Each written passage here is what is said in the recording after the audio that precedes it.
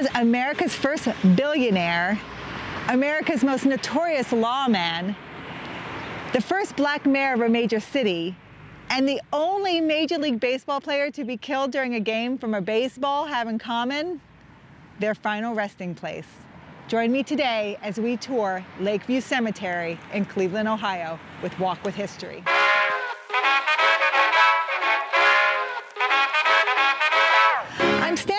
Front of the memorial mausoleum where President Garfield is buried along with his wife Lucretia.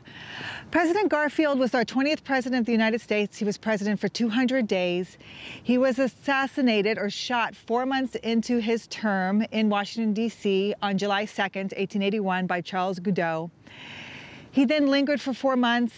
At the time, doctors did not wash their hands, they did not wash their instruments, and James Garfield actually died from blood poisoning.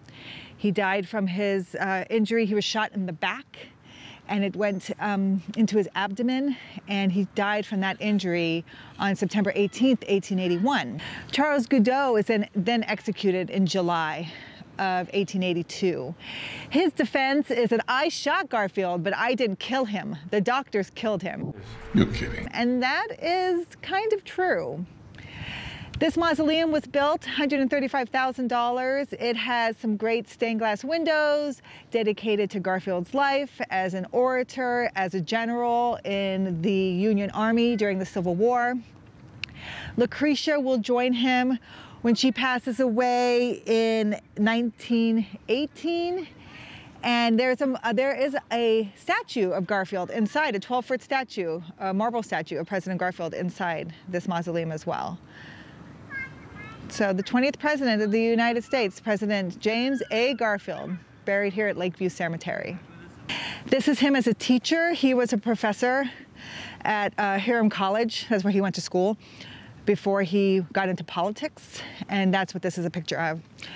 When Garfield is shot in the train station in Washington, D.C., Robert Todd Lincoln is with him. Wait a minute. That was 16 years after his father, Abraham Lincoln, was shot.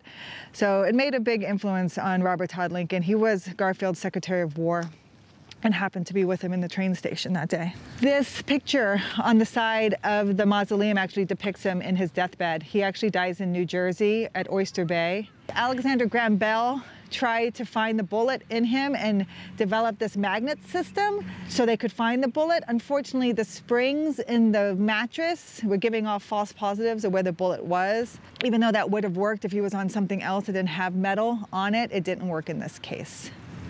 Higbee, I think this is the uh, department store, the big department store in Cleveland, Ohio that's depicted in A Christmas Story. Tell us about all this peculiar activity we're looking at. Public Square in general and Higbee's in particular is the scene of a movie. It's called The Christmas Story.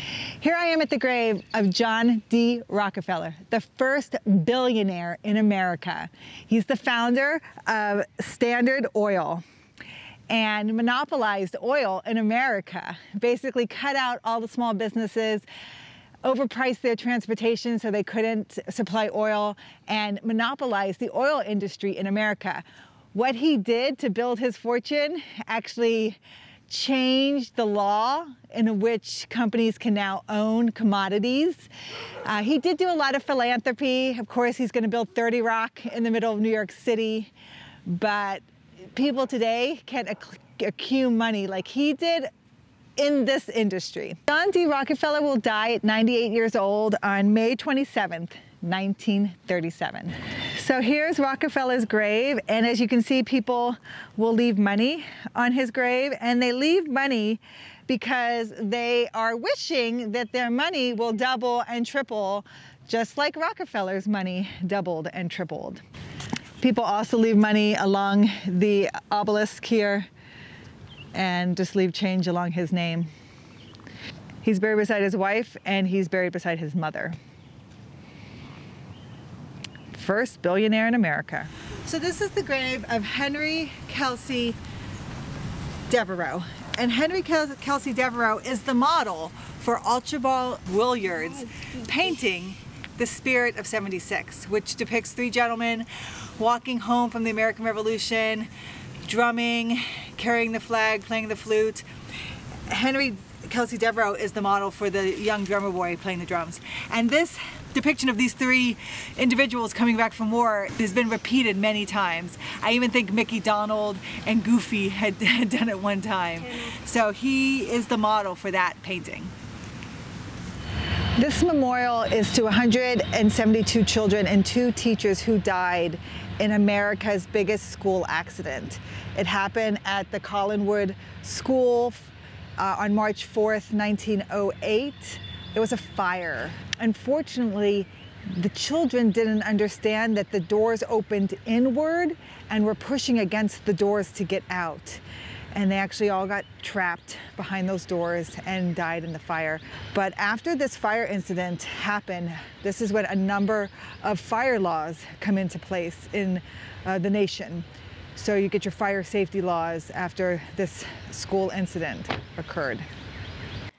While we were there, springtime visitors' cars line the cemetery streets to see Lakeviews, Daffodil Hill. So I'm at the grave of Raymond Johnson Chapman, and he holds the distinction of being the only Major League Baseball player ever killed during a Major League Baseball game. He was actually hit in the head with a baseball. Happened on August 17th, 1920. Uh, he was playing for the Cleveland Indians. He's actually shortstop for the Cleveland Indians, and he was just 29 years old. As you can see, people leave baseballs and gloves in remembrance of him. Beside the grave of Eliot Ness is the grave of Harvey Pekar, a comic book writer, known for his American Splendor comic strip, which also inspired a film adaptation. People leave pens at his grave. So this is the grave of Alan Freed. Alan Freed is notarized for coining the term rock and roll. He's the first person to put those words together to identify a type of music. And that is why the Rock and Roll Hall of Fame is here in Cleveland. And here it is, Alan Freed's Rock and Roll Party. And here he is in person, Alan Freed. Hello, everybody. How y'all? Welcome to our Rock and Roll Jubilee of Stars. And here we go to rockin' with Waylon Tenenbaum, Freddie Mitchell, and the Rock and Roll Boogie. Here we go. He's actually credited with the first rock and roll concert, March 21st, 1952. So this is the grave of James H. Salisbury, and James H. Salisbury was a physician, and he actually came up with the meat-centered diet. And so he comes up with the Salisbury steak. What is it? A steak that's basically dripped in gravy for people to eat it.